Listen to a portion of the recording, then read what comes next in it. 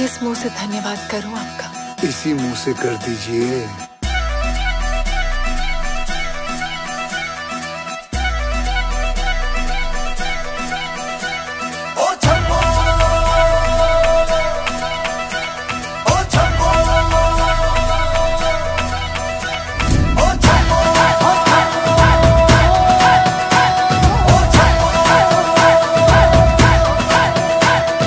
चाँद